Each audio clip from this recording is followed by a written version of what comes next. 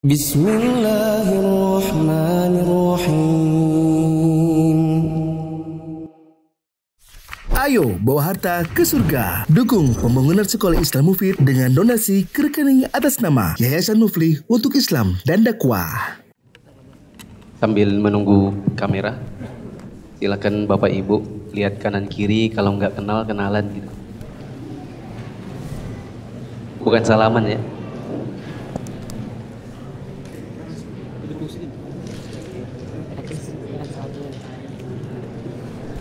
Kenal.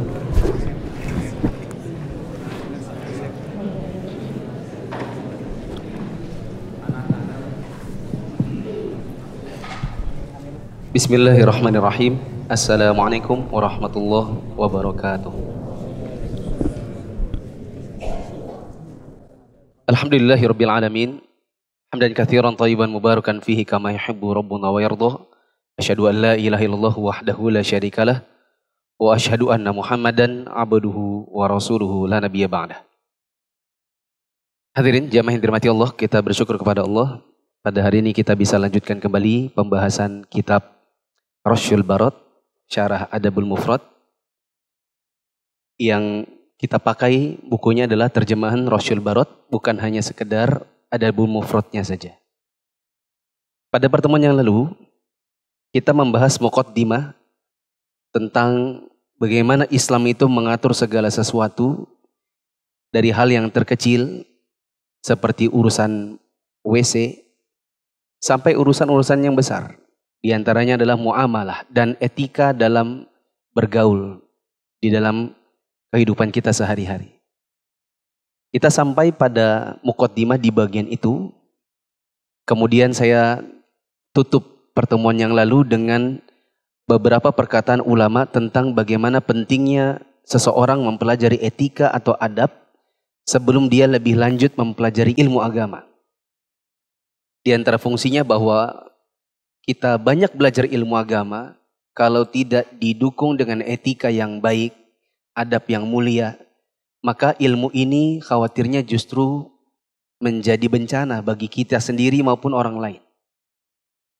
Ya, di antaranya adalah ketika kita belajar ilmu agama, kebablasan, kita tidak mengerti adab dalam berdakwah, lalu kita berbicara tanpa ilmu. Belum sampai ilmu kita pada bab itu, kita bicara lebih jauh. Sehingga akhirnya menyesatkan umat karena kita berbicara di luar kapasitas kita.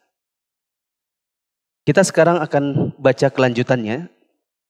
Pada malam hari ini kita akan berkenalan dengan kitab Adabul Mufrad maupun kitab Rasyul Barat yang kita pegang dalam kajian ini. Untuk menghemat waktu kita dengar pembaca membacakan bahasa Indonesianya, yang lain silahkan menyimak Indonesia atau Arab. Kitab Al-Adabul Mufrad dan arti penting pelajarinya. Di antara kitab tersebut adalah kitab Al-Adabul Mufrad karya Amirul Mu'minin fil Hadith Abu Abdullah Muhammad ibnu Ismail Al-Bukhari rahimahullah ta'ala.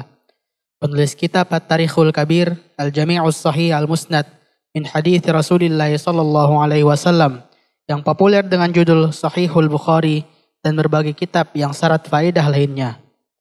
Dalam kitab tersebut, Al-Bukhari telah mengumpulkan berbagai hadis Nabi Shallallahu Alaihi Wasallam yang menggambarkan berbagai bentuk, sifat, dan adab yang terpuji yang sangat dibutuhkan oleh setiap Muslim ketika bermukim dan berpergian, atau adab yang dibutuhkan ketika berada di tengah keluarga dan tetangga, serta segala sesuatu yang erat kaitannya dengan kekerabatan dan kemasyarakatan.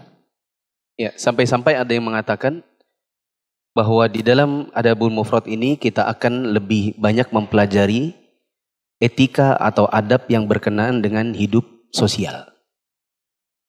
Seperti yang saya sempat uh, singgung pada pertemuan yang lalu, kurang lebih ada 24 bahasan awal itu adalah hubungan seseorang dengan orang tuanya.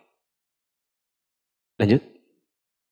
Penulis kitab Fadlullah Samad mengatakan, Kitab Al-Adabul Mufrad karya Amirul Mu'minin fil Hadis, Bakar Ilal, cacat yang tersembunyi dalam hadis di masa dahulu dan sekarang, penjaga Islam dan kaum muslimin, pemuka para ahli hadis, Al-Imamul Himam Abdullah, Abu Abdullah Muhammad ibnu Ismail Al-Bukhari. Semoga Allah melimpahkan karunia kepadanya. merupakan salah satu karya yang sangat bermanfaat. Tiada kitab yang serupa dengan kitab yang berukuran kecil dan bermuatan ilmu yang melimpah ini. Kitab ini menghimpun berbagai riwayat seputar adab dan akhlak yang mulia yang berasal dari Nabi Shallallahu Alaihi Wasallam, para pemuka sahabat dan para ulama. Kitab ini merupakan salah satu karya terbaik yang pernah ditulis, disusun dengan sangat sistematis, serta sangat layak dipelajari. Akan tetapi seorang penuntut ilmu mestilah tergolong cerdas. Terkadang ia tidak mampu mengetahui kedudukan kitab ini dan hanya sedikit yang mampu memetik berbagai hikmah dan mutiara berharga yang terkandung dalamnya. Ahmad Ibnu Jalil Al-Bukhari, Al-Kirmani, Al-Bazzar telah meriwayatkan kitab ini darinya, yakni Al-Imam Al-Bukhari, dan telah tercetak dengan cetakan Hijriyah di kota Arad yang terletak di India pada tahun 1306 Hijriyah. Kemudian dicetak di kota Astana dengan catatan kaki dari Musnad Abi Hanifah pada tahun 1309 Hijriyah. Kitab ini juga dicetak di Kairo oleh penerbit At-Tazi pada tahun 1349. Kemudian dicetak kembali oleh penerbit As-Salafiyah tahun 1375 Hijriah. Selanjutnya kitab ini pun telah tercetak berkali-kali seperti di Kairo, Damaskus, Beirut, Jubail yang terletak di kerajaan Arab Saudi dan berbagai kota lain di semenanjung Arab. Ya. Ada tambahan yang tidak ada di buku ini, mungkin teman-teman bisa mencatat. Uh, Sebagaimana kita tahu bahwa Imam Bukhari punya kitab namanya Sahih Al-Bukhari. Di dalam Sahih Al-Bukhari juga ada Kitabul Adab. Di dalam kitab Sahih Bukhari ada kitab, kitab di sini maksudnya bab, bab tentang adab. Kita mau mempelajari, kita mau catat apa saja hal-hal yang membedakan antara adabul mufrad dengan kitab adab di dalam Sahih Bukhari. Kalau mencatat, Alhamdulillah. Kalau tidak mau mencatat, catatlah. Imam Bukhari punya kitab Al-Adabul Mufrad. Dan beliau juga punya Sahih Bukhari yang di dalamnya ada Kitabul Adab. Bedanya, satu, Al-Adabul Mufrad itu kitab tersendiri. Sedangkan Kitabul Adab dalam Sahih Bukhari itu hanya babnya. Perbedaan yang kedua, supaya cepat teman-teman tulisnya Al-Adabul Mufrad tulis saja ADM. Ya kan? Sedangkan Kitabul Adab dalam Sahih Bukhari tulis saja KAS. Ya, Kitabul Adab Sahih Bukhari. Perbedaan yang kedua bahwa ADM, apa itu ADM? Ada belum mufrad? Mengkompilasi hadis-hadis yang berkenaan dengan perilaku sosial. Sedangkan KAS. Apa KAS? Kitabul Adab dalam Sahih Al-Bukhari. Maka ini mencakup aspek yang lebih luas. Mencakup aspek yang lebih luas. Perbedaan yang lain, yang ketiga, kualitas hadis di dalam ADM, kualitas hadis dalam ADM, dalam Adal Mufrad, standarnya tidak seperti dalam Sahih Bukhari. Makanya sebagian ulama ada yang mengkritisi hadis-hadis dalam Adabul Mufrad. Ibaratnya kalau kita sudah bilang ini diriwayatkan Bukhari dalam Sahih Bukhari, maka tidak usah dikritisi lagi. Tetapi berbeda kalau disebutkan dalam Al-Adabul Mufrad, maka ada riwayat-riwayat yang sebagian ulama mengkritisnya. Mengkritiknya. Kenapa demikian? Karena di dalam ADM kriteria hadisnya tidak seperti dalam Sahih Bukhari. Dalam Sahih Bukhari lebih ketat. Atau bisa juga dikatakan Imam Bukhari meletakkan standar untuk Sahih Bukhari itu tinggi. Pernah kita dengar sebagian guru-guru kita ada yang mengatakan Imam Bukhari saat mengumpulkan hadis-hadis dalam Sahih Bukhari beliau sampai sholat istikharah. Dan ada kalanya misalnya beliau bertemu dengan seorang perawi yang perawinya ini diceritakan dia pernah membohongi unta. Membohongi ini dalam dalam arti kata pura-pura. Misalnya diberi makan supaya untanya duduk, padahal niatnya bukan kasih makan, melainkan untuk dinaiki. Orang yang demikian saja itu oleh Alimam Bukhari langsung ditolak. Bayangkan cuma melakukan hal yang pura-pura untuk hewan. Apalagi kepada manusia itu sangat memungkinkan dia pernah melakukan yang sama. Maka Imam Bukhari untuk kriteria sahih di dalam Sahih Bukhari ini lebih ketat daripada di dalam Al-Adabul Mufrad. Uh, perbedaan yang ke yang keberapa? Perbedaan yang keempat, jumlah hadis di dalam ADM lebih banyak. Jumlah hadis di dalam ADM itu lebih banyak. Yaitu jumlahnya 644 bab dan 1322 hadis dan asar. Kita akan belajar di dalam buku ini 644 bab yang terdiri dari 1322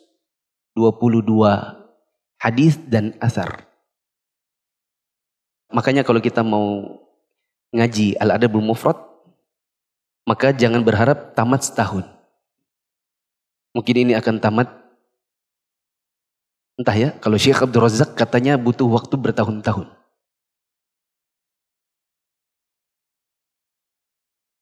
Adapun di dalam KAS, Kitabul Adab dalam Sahih Bukhari, jumlahnya hanya 128 bab Jumlahnya hanya 128 bab dan 256 hadis. 120 bab, 128 bab terdiri dari 256 hadis. Perlu diketahui juga karena jumlahnya Al-Adabul Mufrad itu lebih banyak. Berapa hadis tadi? 1300 20-an, sedangkan di dalam Kitabul Adab hanya 250 naman, berarti berapa kali lipatnya ini? Ya, sekian kali lipat. Sampai-sampai di antara para ulama ada yang menulis kitab judulnya Zawaid ala As-Sahih Al-Bukhari atau Zawaid Adabul Mufrad Zawaidu Adabil Mufrad ala As-Sahihain yaitu hadis-hadis yang dimuat oleh Imam Bukhari di dalam Al-Adab Mufrad yang itu tidak terdapat pada As-Sahihain. Yaitu Sahih Bukhari dan Sahih Muslim. Bahkan ada juga yang menulis buku Zawaid Adabil Mufrad ala Kutubi Sittah. Yaitu riwayat-riwayat yang dimasukkan oleh Al-Imam Al-Bukhari dalam Al-Adabul Mufrad yang itu tidak didapati di dalam Kutubus Sittah. Kutubus Sittah itu dua Sahih dan empat Sunan. Sahih apa saja? Sahih Bukhari, Sahih Muslim. Kalau Sunan, Abu Dawud, At-Tirmidzi, Ibnu Majah, satu lagi, satu lagi, An-Nasai. Catat ya, nanti kalau ujian biar bisa jawab. Tapi saya yakin kalau dibilang ada ujian pasti langsung habis.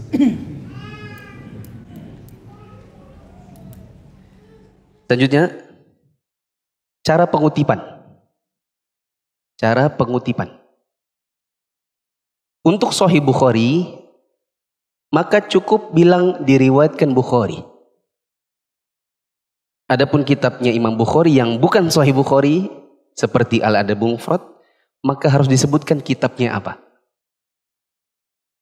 untuk Sahih Bukhari, maka cukup bilang diriwayatkan Imam Bukhari.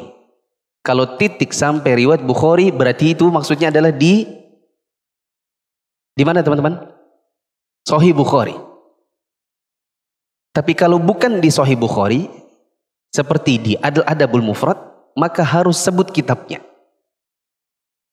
Sehingga nanti kalau kita mau bilang itu ada di Al Adabul Mufrad, kita bilangnya gimana? Diriwayatkan oleh siapa? Siapa? Gimana mulus ujian ini? Ya. Berarti nanti kalau mau dikatakan itu ada di Al Adabul Mufrad, berarti teman-teman bilang apa? Diriwayatkan oleh siapa? Imam Bukhari di di kitab Al Adabul Mufrad. Kalau memang teman-teman dulu belajarnya gini, kalau teman-teman suatu saat mengingat ada hadis di kajian ini, teman-teman ragu apa itu ada di Sahih Bukhari atau tidak? Terus suatu hari kebutuhannya untuk menjelaskan ke temannya, ke keluarganya. Saya pernah dengar hadisnya begini, diriwayatkan Imam Bukhari. Jangan titik. Tapi sebutkan kitabnya. Apa kitabnya? Al-Adabul Mufrad. Beda halnya kalau kajian ini kajian Sahih Bukhari. Kalau kajian ini kajian Sahih Bukhari, teman-teman pernah dapatkan riwayatnya di dalam kajian ini Sahih Bukhari. Suatu hari mau membawakan hadisnya di tempat yang lain, mau menjelaskan ke orang misalnya, maka cukup bilang diriwayatkan Imam Bukhari tanpa perlu sebutkan kitabnya karena sudah pasti berada di Sahih Bukhari. Susah atau gampang? Susah atau gampang? Ada yang gini. Kepalanya setengah gini, itu artinya apa ya? Susah atau gampang? Itu artinya apa? Susah ya? Kan nganggu. Tapi nganggunya tuh setengah hati jadi pas habis gini gini lagi. Kebetulan duduknya di depan situ. Saya ulang, berarti kalau kita mau kutip hadisnya itu ada di Sahih Bukhari, maka tidak perlu sebutkan kitabnya. Cukup sebutkan diriwayatkan oleh Imam Bukhari. Tapi kalau kita dapatkan di kitab yang bukan Sahih Bukhari, kitabnya Imam Bukhari tapi yang bukan Sahih Bukhari, seperti di Adal Mufrad, maka bilang apa? diriwatkan oleh Imam Bukhari dalam ada al Mufrad. Berikutnya perbedaan yang ke berapa ini? 6. Di dalam Adal Adal Mufrad dalam ADM hadisnya tidak diulang kecuali kalau sanatnya beda. Kalau dalam ADM hadisnya tidak ada pengulangan Kecuali kalau Imam Bukhari meriwayatkan hadisnya dengan sanad berbeda. Dari fulan, dari fulan, dari fulan, dari fulannya itu kalau rantainya beda, meskipun nanti isinya, matanya sama, maka Imam Bukhari bisa ulang. Adapun di Sahih Bukhari, maka Imam Bukhari kadang meriwayatkan dengan diulang sanad yang sama, matan yang sama. Makanya di dalam Sahih Bukhari itu ada 7000 hadis.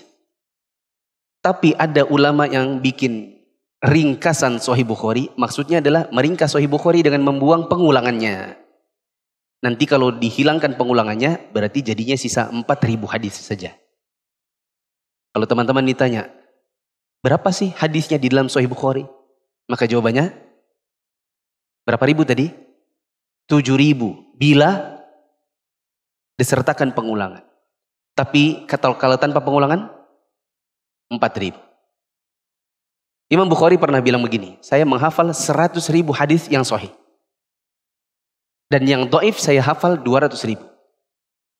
Dari 100 ribu itu, oleh Imam Bukhari diseleksi lagi hanya 7 ribu yang lolos dalam sahih Bukhari. Maaf, hanya 4 ribu. Tapi karena ada beberapa bab, ada sekian bab yang hadisnya muncul di bab ini dan muncul di bab yang lain lagi, maka jadinya ada tujuh ribu. Semoga bisa dipahami. Yang berikutnya, perbedaan yang lain. Dalam Al-Adabul Mufrad, dalam ADM, riwayatnya mencakup yang sampai kepada Nabi, Yang sampai kepada Nabi ini disebut dengan marfu' koma. Yang juga sampai kepada sahabat Nabi namanya mauquf. Dan yang sampai kepada tabi'in saja namanya maktu'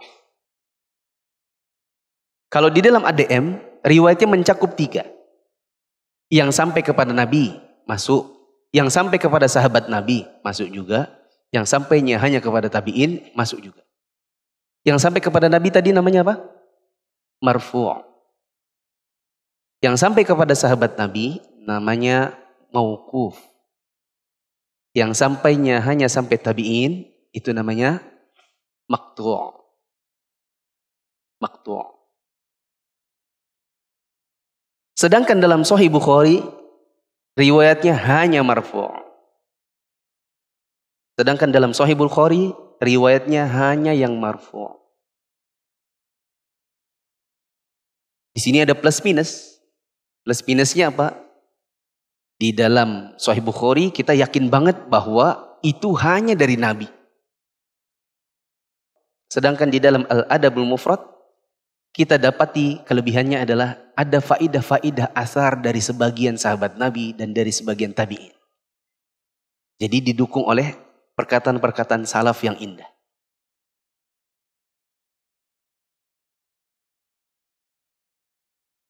Bisa dipahami teman-teman? Coba diulang. Apa saja perbedaan-perbedaan antara Al-Adabul Mufrad dengan Kitabul Adab dalam Sahih Bukhari? Satu. Satu. Al-Adabul Mufrad kitab tersendiri. Sedangkan Kitabul Adab dalam Sahih Bukhari hanya bab. Kedua. Kalau di dalam Al-Adab Mufrad itu kompilasi hadis-hadis yang temanya adalah etika sosial. Sedangkan dalam Kitabul Adab Sahih Bukhari dia mencakup yang lebih luas. Perbedaan ketiga. Kualitas hadis di dalam Al-Adab Mufrad tidak seketat Sahih Al-Bukhari. Makanya sebagian ulama seperti Syekh Al-Albani beliau mengkritisi hadis dalam Al-Albul Mufrad ada yang beliau kumpulkan sohi-sohinya saja. Ada yang beliau anggap doif. Meskipun sebagian ulama juga ada yang membela. Itu kan doif versinya Imam Al-Albani.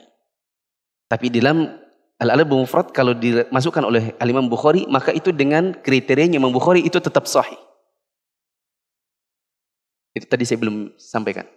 Perbedaan yang berikutnya. Kalau dalam Al-Mufrad kitab uh, hadisnya lebih banyak.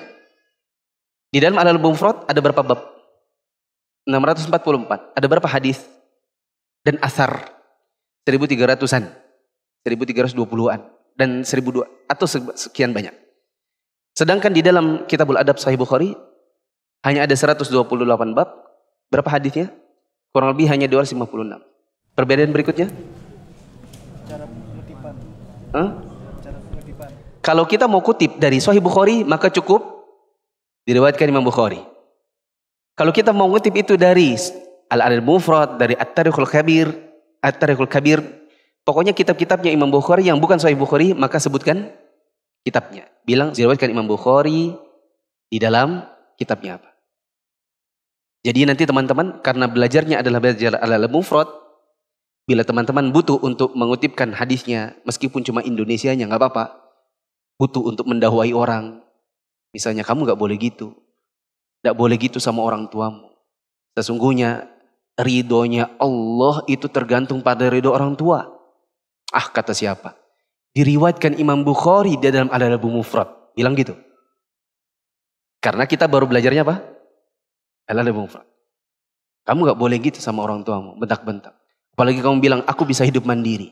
Kalau orang tuamu nanti ngutuk kamu, maka itu bisa mempengaruhi kutukan Allah sama kamu. Kata siapa? Kata Nabi. Mana hadisnya? Bilang ridallah fi radal walid wa sukhtullahi fi sukhtil walid. Riwayat siapa? Imam Bukhari di dalam Al-Alal Mufrad bilang begitu. Jangan bilang riwayatkan Imam Bukhari karena nanti dikira pasti ada dalam Sahih Bukhari padahal antum baru belajarnya adalah Mufrad. Perbedaan lainnya? Nah, di dalam adab mufrad hadisnya tidak diulangi kecuali kalau sanatnya berbeda. Sedangkan di dalam kitabul adab atau di dalam Sahih Bukhari ada yang namanya pengulangan-pengulangan. Berapa sih jumlahnya hadis dalam Sahih Bukhari? Kurang lebih tujuh ribuan. Bila dengan pengulangan. Kalau tanpa pengulangan hanya ada empat ribuan. Terus?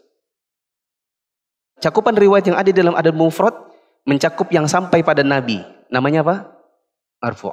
Ya, maupun yang sampai pada sahabat. Namanya mauquf. Maupun yang sampai pada tabiin. Namanya waktu. Ada pun yang di dalam Sahih Bukhari hanya yang marfu. Kita cukupkan tambahannya, silakan kita kembali ke bukunya. Teman-teman jangan merasa berat dulu ya. Ih, berat ternyata ya. Bukan, ini hanya pengenalan. Adapun nanti kalau sudah masuk dalam babnya, maka insya Allah akan mudah.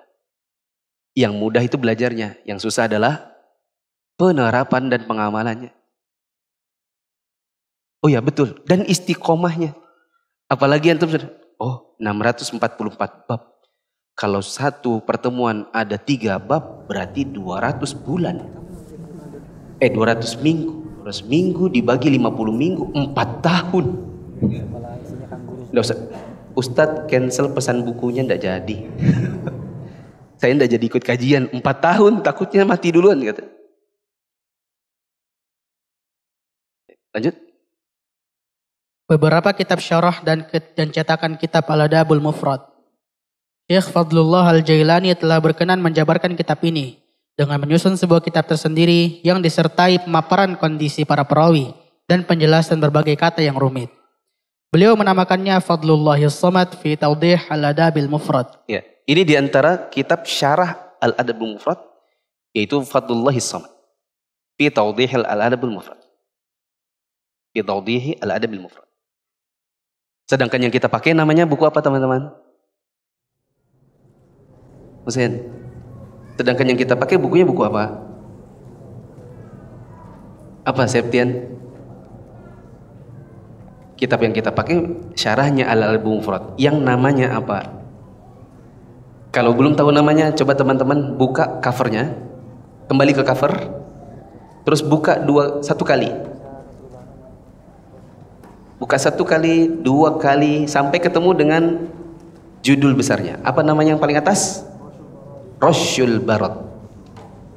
Rosyul Barat itu percikan embun.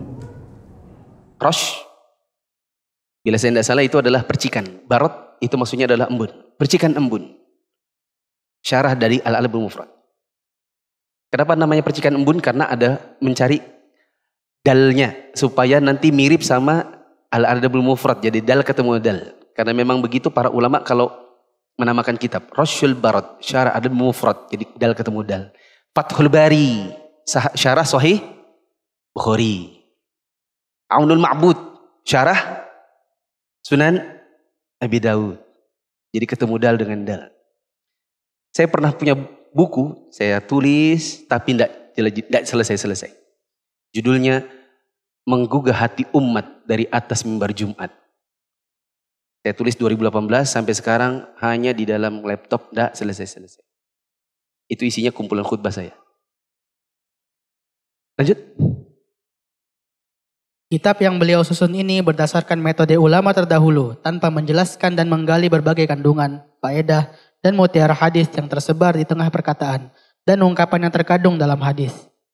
Selain itu, kitab tersebut menggabungkan antara penjelasan yang teramat ringkas dan pemaparan yang teramat panjang, bertele-tele, serta dipenuhi berbagai penukilan yang kurang tepat sasaran dalam menjelaskan berbagai makna hadis dan dalam menggali kandungan dan mutiara hikmahnya.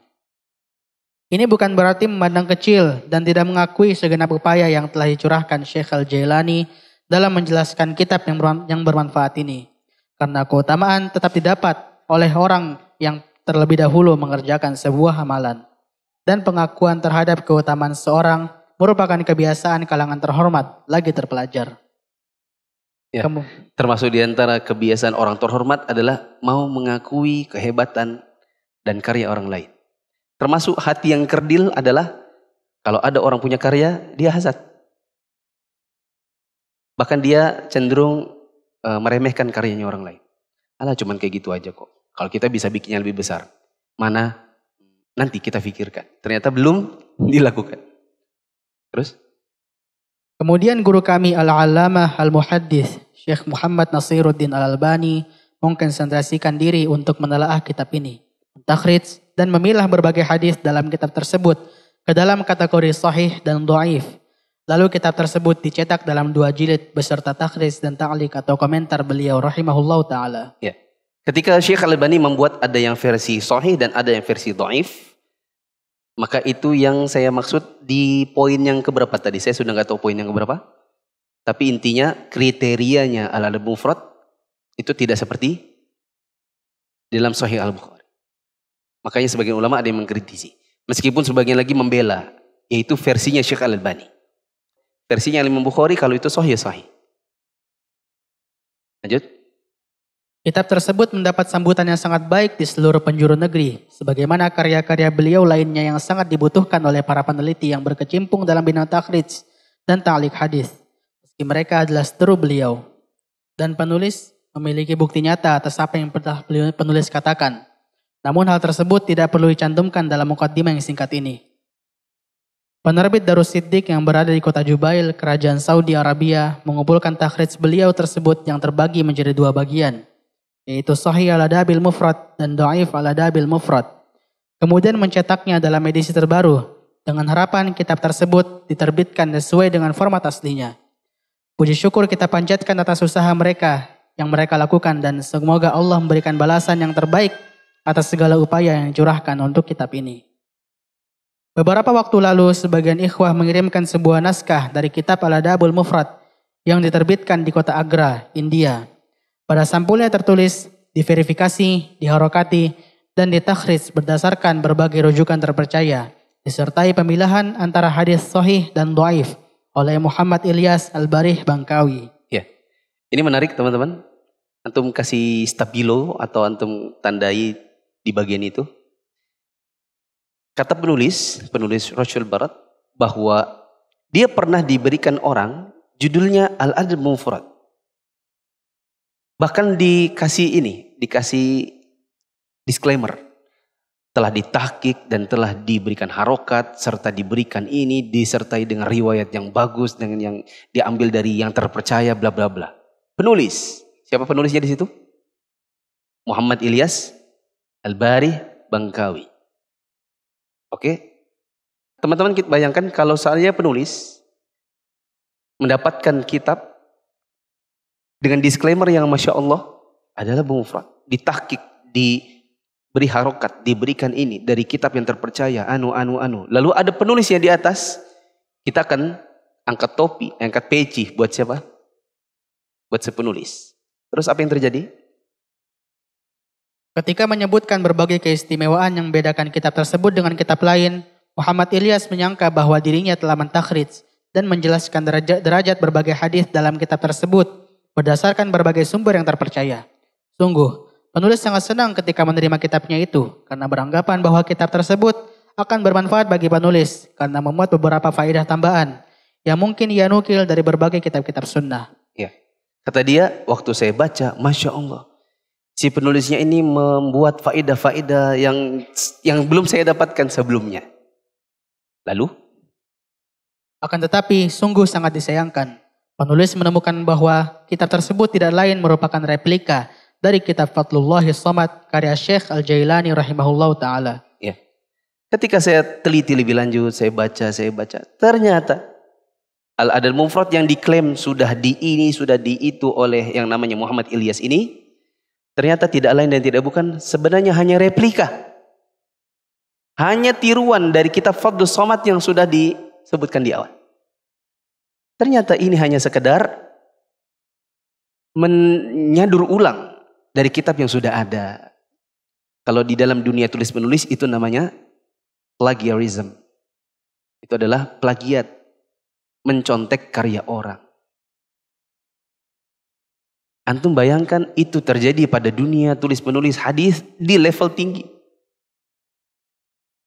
Maka jangan terburu-buru untuk angkat topi bagi orang-orang yang pada dasarnya mungkin pelajar ahlu sunnah salafi sekalipun di dalam tataran hanya misalnya di balik papan punya kitab sebelum kita verifikasi sebenarnya dia dapat dari mana.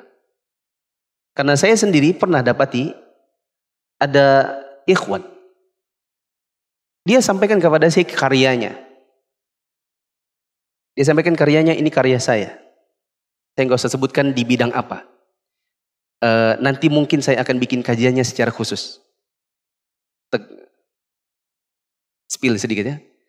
Judulnya adalah Teguran untuk Oknum Guru Quran. Saya sedang rancang apa yang mau saya bicarakan dalam kajian tersebut. Sampai sejauh mana cakupannya. Saya diberikan kitabnya.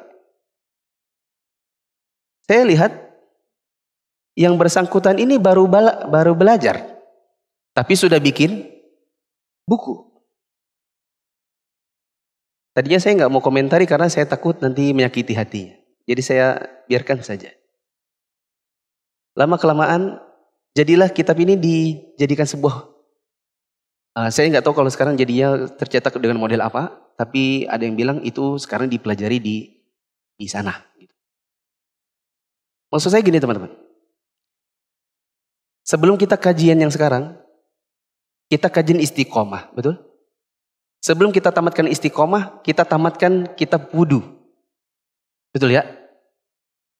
Buku wudhu Nabi yang kita pelajari dulu, itu saya sendiri yang susun. Tetapi saya susun ini bukan dari kepala saya. Bukan mufli menghafal seluruh babnya, seluruh hadisnya, takhrijnya, lalu kemudian saya tulis sendiri. Tetapi itu adalah kompilasi dari kitab-kitab para ulama. Kenapa demikian? Karena saya sadar diri, mufli ini tidak punya kapasitas seperti para ulama. Tetapi kalau kita merujuk kepada kitab ulama yang begitu banyak, dan kadang di sini ada, di situ nggak ada. Bab ini ada di situ, nggak ada di sana. Supaya memudahkan penuntut ilmu pemula, maka saya rangkum. Setelah saya rangkum, saya beri judul kompilasi dari karya ulama. Lima kitab ulama. Wudhu Nabi dikompilasi dari lima karya ulama. Saya cantumkan marojinya apa aja. Uh, Salatul Mu'min, karya Syekh Sa'id bin Wafaq. Uh, uh, Sahih Fikih Sunnah, karya Syekh Abu Malik Kamal bin Said Salim.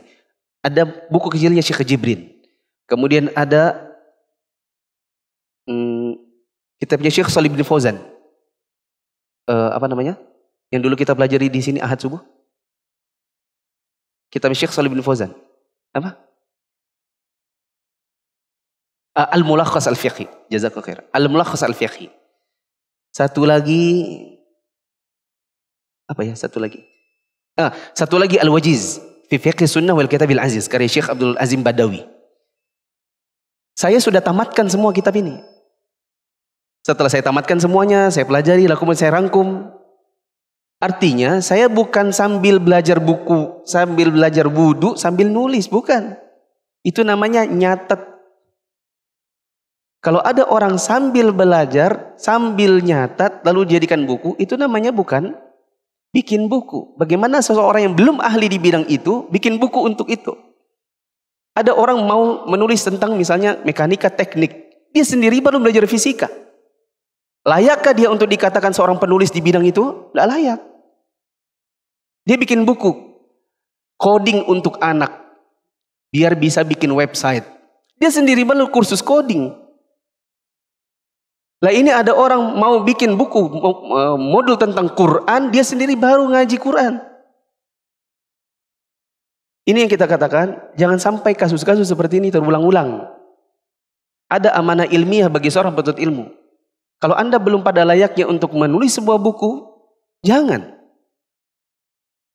Kalau Anda cuma mau tulis artikel biasa, silakan, tematik. Bikin buku, jadi modul, sementara Anda juga baru belajar waktu itu, maka ini Anda lompat tangga dua kali. Pengen naik ke atas tapi tidak melalui tangga-tangganya. Lompat Anda lewat samping. Khawatirnya kalau enggak, bukan karena pertolongan Allah Anda jatuh. Seperti itu. Sebagaimana ini kita dapati seorang laki-laki namanya Muhammad Ilyas bla bla bla.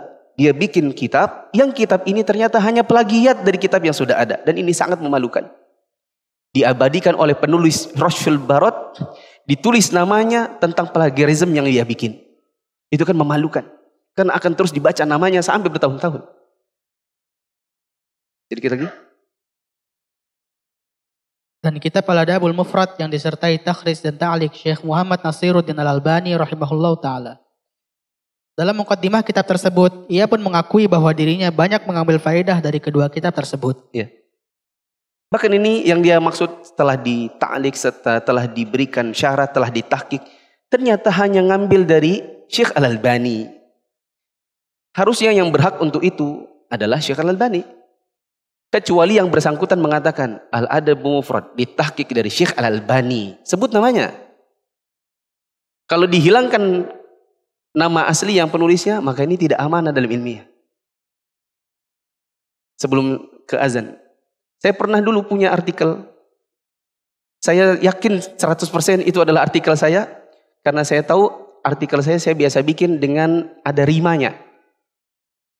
Allah berikan saya kemudahan untuk menulis meskipun sekian ratus karakter itu bisa pakai rima.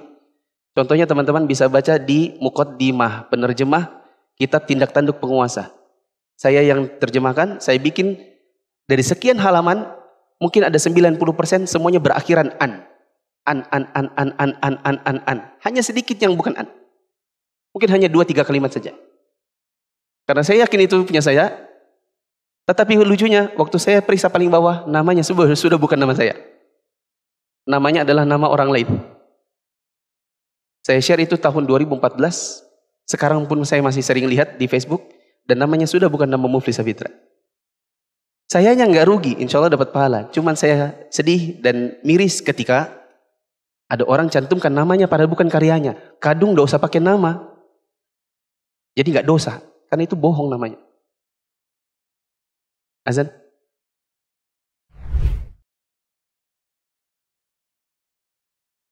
Allahu Akbar, Allah.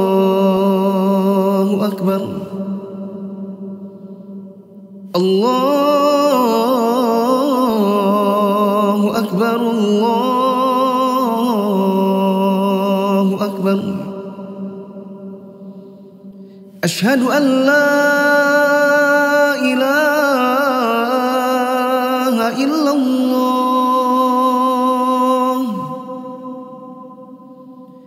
أشهد أن لا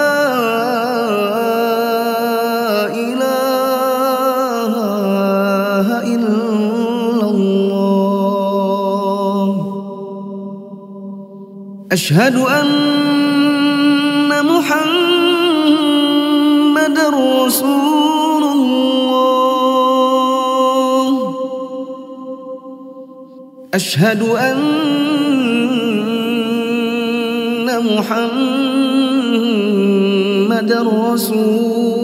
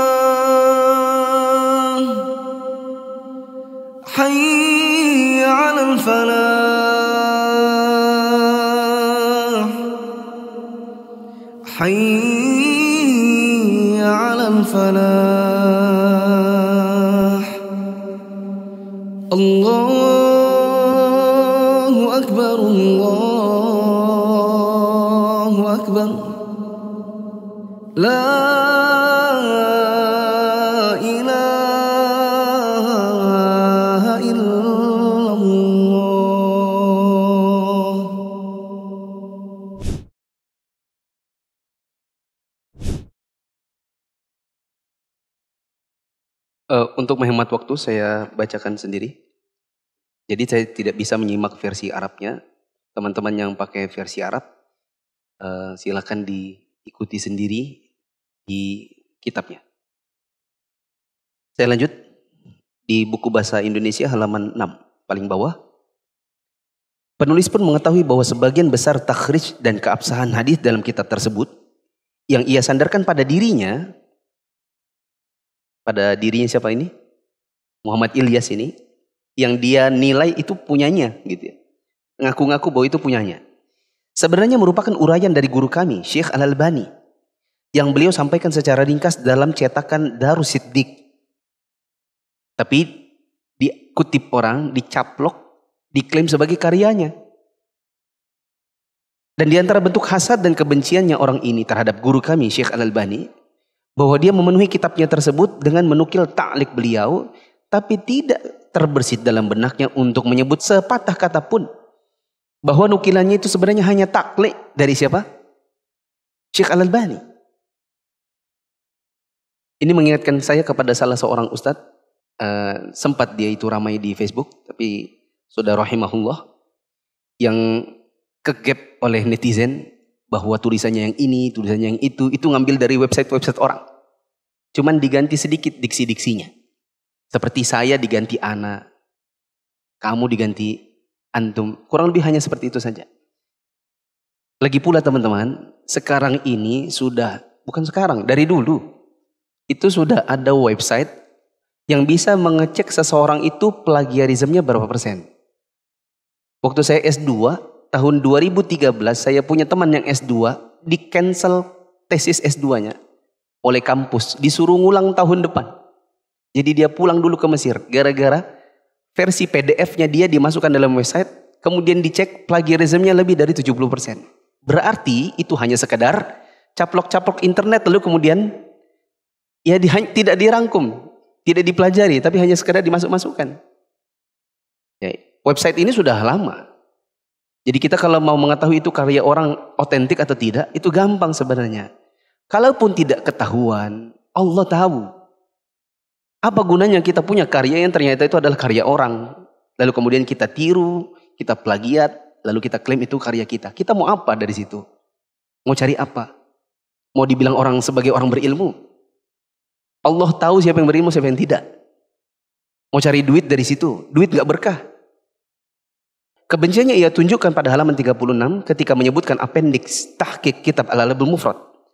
Pada nomor 3 dari halaman tersebut dia mencantumkan tahqiq Al-Adabul Mufrad, buah karya Abu Abdurrahman Muhammad Nasiruddin Al-Albani tanpa menyebutkan tarahum atau penghormatan sedikit pun kepada beliau. Pada beliau memiliki kedudukan yang istimewa di dunia ini. Anehnya pada nomor 2 di halaman yang sama, dia menyebut dan menggelari salah seorang staf pengajar Mahad Darul Ulum yang ada di Diobandi yang telah memberikan pengantar dalam kitabnya tersebut dengan gelar Al-Muhaddith Al-Jalil. Kalaupun ada yang mau dikatakan Al-Muhaddith, tentu Syekh Al-Albani. Padahal penulis menemukan beberapa kesalahan gramatikal dan kelemahan bahasa Arab dalam pengantar yang orang itu berikan. Sebagaimana yang ia berikan kepada dalam kitab Syekh Muhammad Ilyas. Arti penting syarah Al-Alabu Mufrad. Penulis telah lama memiliki naskah kitab Fadlullahi Samad karya Syekh Al-Jailani. Dan saya sering merujuknya saat membutuhkan berbagai hadis dan asar dalam sahabat, para sahabat seputar adab-adab Islam. Setiap kali penulis membacanya, terbesit kesadaran bahwa kitab tersebut membutuhkan penjelasan yang proporsional dan gamblang. Dengan menyebutkan berbagai faidah dan hukum yang dipetik dari hadis-hadis tersebut, disertai penjelasan berbagai kata yang terkadang sulit dipahami oleh pembaca. Hal ini bertujuan untuk memudahkan pemahaman sehingga faidahnya dapat tersebar luas. Dalam merealisasikan keinginan tersebut, penulis telah menyediakan dua kitab syarah yang merupakan penjabaran dari dua kitab, yaitu kitab Bulughul Maram karya karya Al-Hafiz Ibnu Hajar Al-Asqalani dan Fathul Alam ala Bulughul Maram karya Al-Allamah Siddiq Hasan Khan. Kitab syarah yang pertama penulis namakan Tuhfatul Kiram Syarah Bulughul Maram. Kitab ini mendapat sambutan yang cukup baik di dalam kalangan penuntut ilmu Kitab syarah yang kedua berjudul Al-Ahkam Al-Fiqhiyah wal Fawaid Al-Hadithiyah ala Fathil Alam. Dan kitab ini juga mendapatkan sambutan serupa sebagaimana kitab yang pertama Alhamdulillah. Al-Irfan Bil Jamil. Ucapan terima kasih. Pada akhirnya keinginan penulis pun semakin menguat untuk menyusun sebuah kitab yang menjabarkan kitab Al-Adabul Mufrad yang bersumber pada dua karya penulis yang terdahulu. Karya siapa? karya Syekh Al-Jailani dan Syekh Al-Albani. Maka penulis pun bertawakal kepada Allah dan mulai mengumpulkan beberapa sumber utama untuk merealisasikan keinginan tersebut.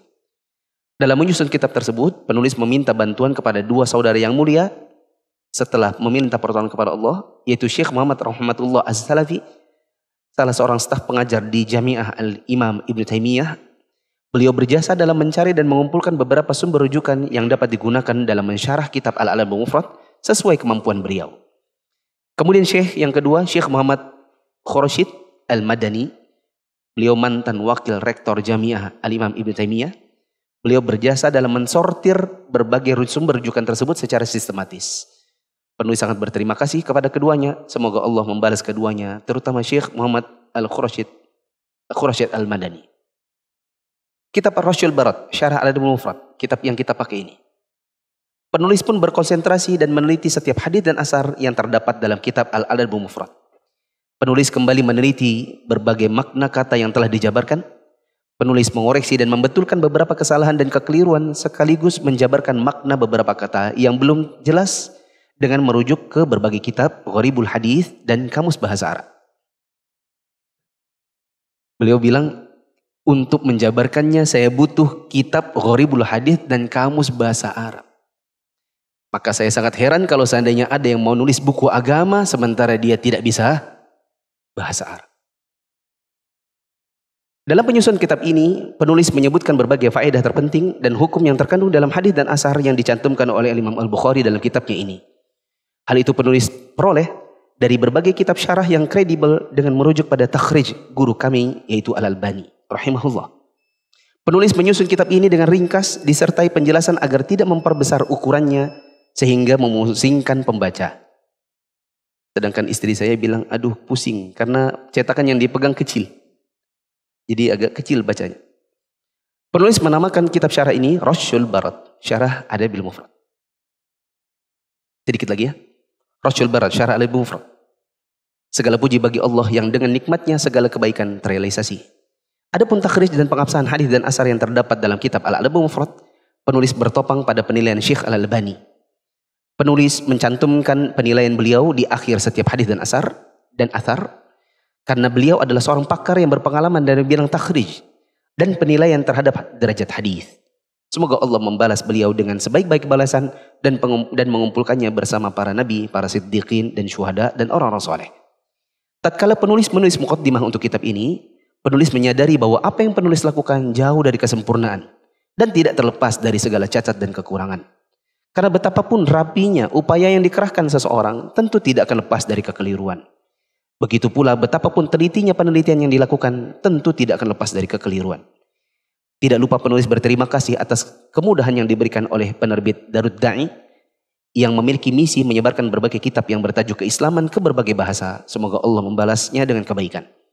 Penulis memohon kepada Allah agar menjaga kita dari segala keburukan dan melindungi jamiah kita yaitu jamiah Al-Imam Ibn Taimiyah dan markas kita yaitu markas Al-Alama Ibn Baz Lid Dirasa Al-Islamiyah yang berlokasi di yang berlokasi di kota Assalam India beserta cabangnya di berbagai kota lain dari segala keburukan dan kejahatan berbagai pihak yang dengki terhadapnya sehingga keduanya senantiasa menurunkan berbagai karya tulis dan para dai serta peneliti yang akan membawa bendera Islam dan menyebarkannya ke seluruh penjuru dunia selamanya.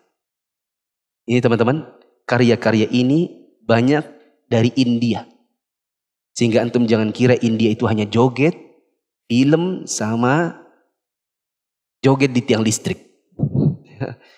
Di India banyak ulama ahli hadis. Antum tahu kitab sirah nomor satu sedunia yang pernah memenangkan lombanya?